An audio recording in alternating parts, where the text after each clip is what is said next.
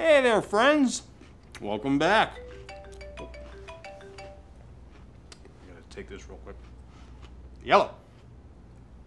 Uh huh. Are you sure? I thought you retired. No, the red, not the blue. Oh. Well, put me down for six then. Mm hmm.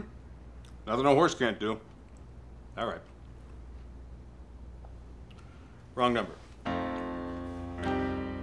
I don't want to get myself too excited, but word on the street is this quarantine's not going to be lasting much longer.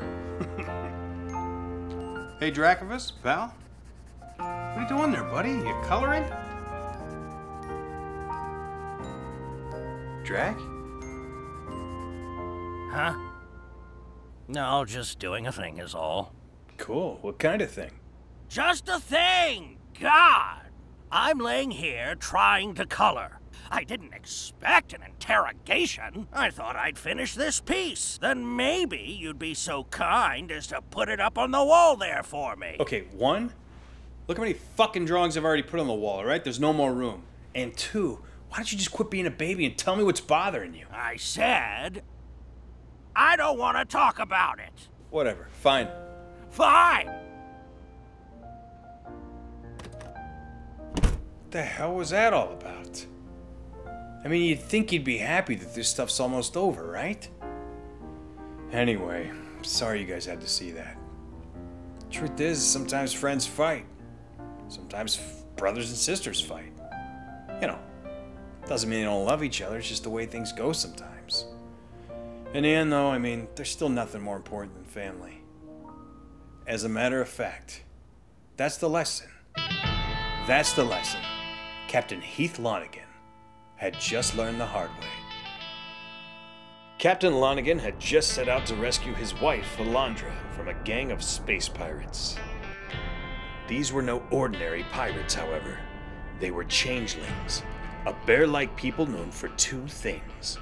One, they could alter their appearance any way they liked. And two, they were really fucking annoying. Hey, Lonigan! You're never gonna see your wife again. So why not you just come up here and touch my butt? God damn it! Where is she?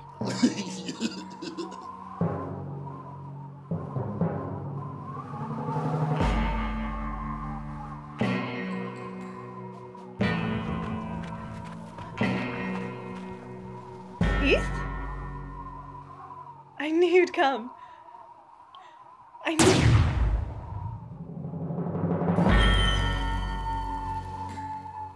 You have to do better than that! Alondra would never wear that shade of blue!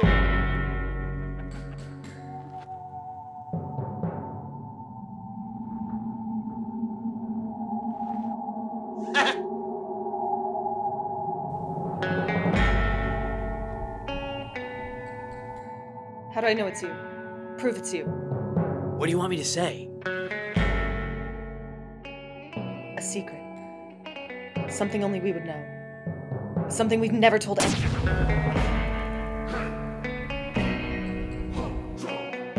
She told her mother everything. Where the fuck's my wife?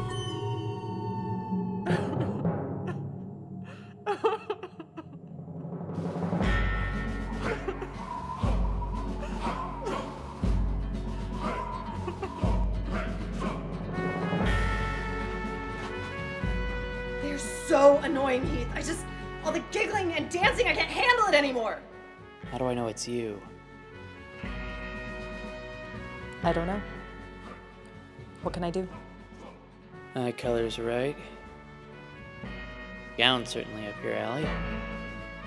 I didn't pick this one out. They did. Alondra, it is you.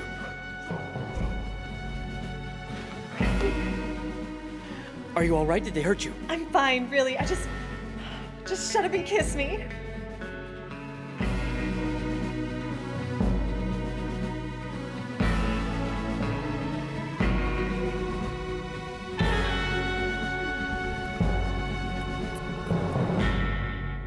oh, come on. Everybody likes to get their butt touched.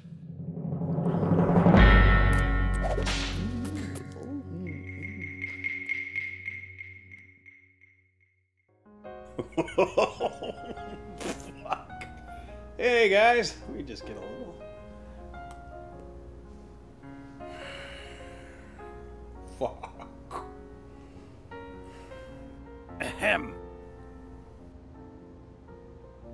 What are you doing? I was wrong to yell at you, dear friend. I've done some thinking. If you don't mind, I'd like to play you a little something. All right.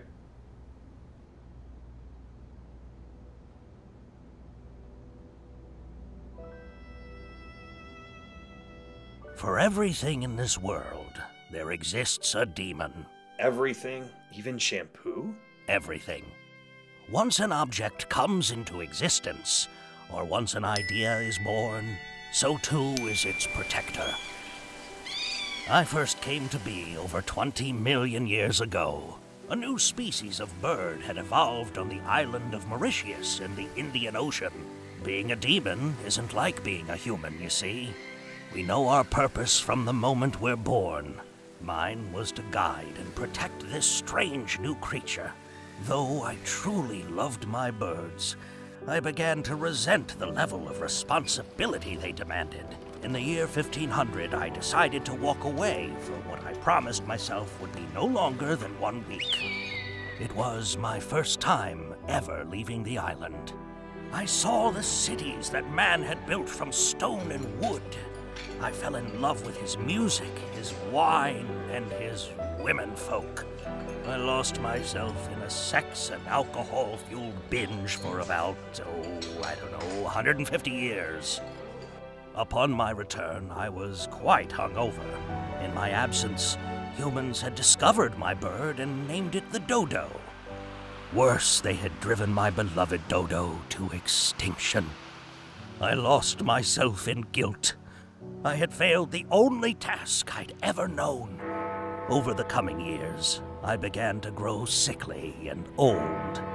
I observed man and his world, always hoping that each day would be my last.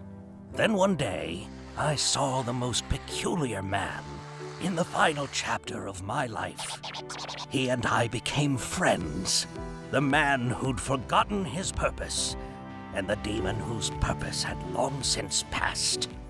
While I cherish these final days together, I fear that after I am gone, this friend who I love will waste his life as I have, ignoring his calling until it one day calls no more.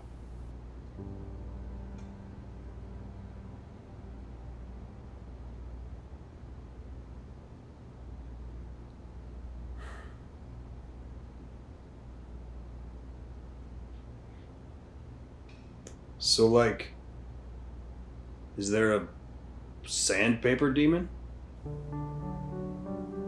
I believe her name was Cindy. Nice girl. Quiet, but nice. All I can really do is